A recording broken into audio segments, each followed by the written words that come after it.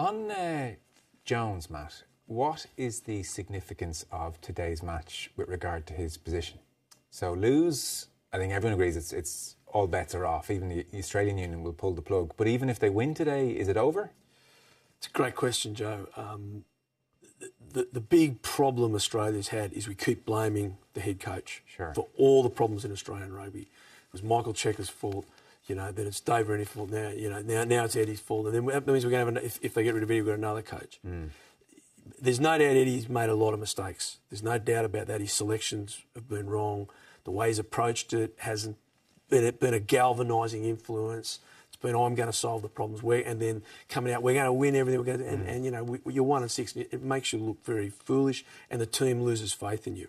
So I think that I know they're going to do a strong review, hmm. and they'll make some decisions. Eddie might find, might say that his, his position is untenable in his own view.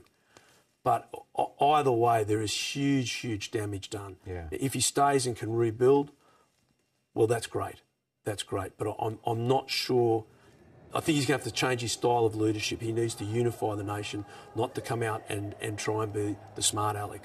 We, we need someone that's going to bring everyone together and say, we have got problems. The only way you're going to solve it is, un- is a unified approach. And uh, I, I'm just not sure that's in his personality. No.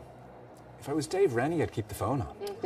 Uh, it's, what's happened to Dave is disgrace. He's done a great job, decent guy, should never happen.